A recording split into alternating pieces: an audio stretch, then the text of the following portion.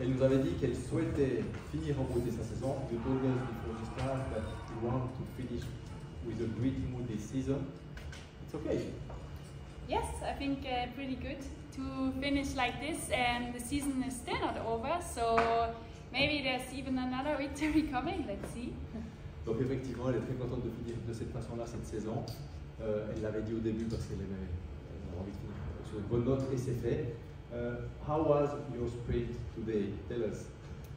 Yes, a little bit chaotic, I have to say. I was in a good position and then I got boxed in a little bit and I really had to stop sprinting and I thought I lost it by this. Um, so I thought I really have to win now. So I had extra motivation and I really, really, really wanted to win today. Donc un sprint un peu chaotique, elle était bien placée mais elle a été, elle dit boxée, donc elle a été coincée contre les barrières. Elle a dû stopper son sprint elle s'est dit peut-être que c'est perdu, mais ça lui a donné une meilleure motivation. Elle a dit je veux quand même le gagner. Elle s'est relancée et l'a gagné.